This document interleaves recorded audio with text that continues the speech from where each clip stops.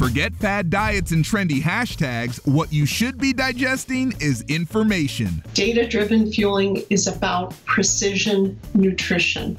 Your body has a voice, it speaks to you all the time. Candace Rosen, a registered nurse and author of Forget Dieting, It's All About Data Driven Fueling, says your blood sugar can help tell you whether you're giving your body the right fuel. Are you feeling famished? You're really starving?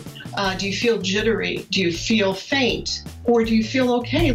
She serves up five healthy fueling tips for starters, make Wednesdays and Fridays vegan days. It's very hard on your kidneys when you're eating a ton of animal protein. You're giving so many organs in your body a break by focusing on a plant based meal for those two days. Eat leafy greens, sprouted grain breads, plant based meat substitutes, and avoid dairy because it can actually deplete your bones of calcium Next, limit your fruit pairing. Fruit is never eaten with anything else, with only two exceptions. You can put fruit in a smoothie with a plant based protein powder, or you can have fruit with nuts, seeds, a nut butter, or seed butter. Apples, bananas, oranges, and berries are always good, but avoid sugary fruit juices and sweet fruits like pineapples and mangoes when you're trying to lose weight. I will have sliced apples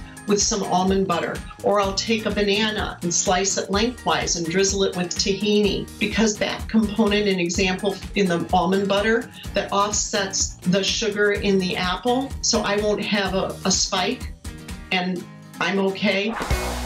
At number three, don't eat anything white. No white bread, no white pasta, no white rice. It has a higher glycemic index. These foods will raise your blood sugar and create an inflammatory response. It's not like I'm saying you can never have rice, but try brown rice. And if you're having meat, don't combine it with a starch. The only thing that you can bring onto the plate would be a vegetable, a non starchy vegetable like uh, zucchini, broccoli, whatever and a salad. If you're craving carbs, yam it up. Sweet potatoes have fiber and also vitamin A, and it is so satisfying and it's healthy. Finally, if you're craving animal protein, feast on fish. We always want to focus on wild caught fish the nutritional content is higher and it'll contain less fat. Just as I said before, you're not going to combine it with rice, you're not going to combine it with a potato, you're going to combine it with a vegetable, a non starchy vegetable, and a salad. Digesting data for a diet that works is at the top of the list.